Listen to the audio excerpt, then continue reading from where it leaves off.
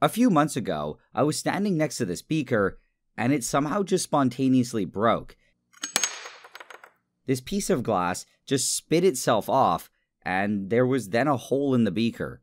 At the time, the beaker was empty and not doing anything, though, so it didn't really matter, and I honestly didn't think too much about it.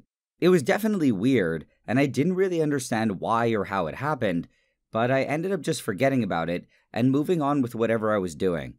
A few weeks later, though, when I was filming for a video, it happened again, but this time, the beaker was full of acid. Thankfully, it was just all dilute acid, so it wasn't really a huge disaster, but it did end up spilling everywhere. When it happened the first time, I thought that it was just some weird freak accident or something, but now that it happened again, I started to worry about what was happening. The break that happened was very weird and was also exactly the same, where this small piece of glass was ejected from the beaker. I tried thinking about what would cause it to break so weirdly like this, and it only took me a couple minutes to figure it out.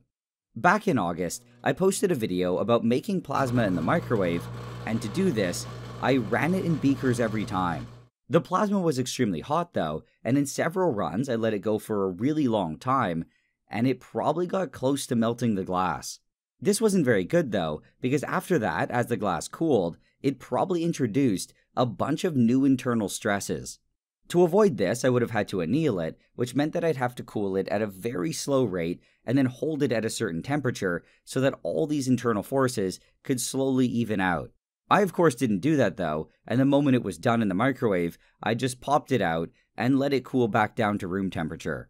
Also, in that plasma video, I found that as the plasma formed, it would pull sodium ions from the glass, and this could also potentially destabilize it. So, in the cases that I just let the plasma sit there, it might have been messing it up in two ways. After this, the glass was potentially under some extreme stress, but I didn't know that at the time, so I mixed everything back with all my normal unused beakers. However, now, I had no idea which ones were the good ones, or the ones that might just potentially explode. They all visually looked the same, and the only way that I thought that I could maybe see the difference was by looking at the glass through polarized light.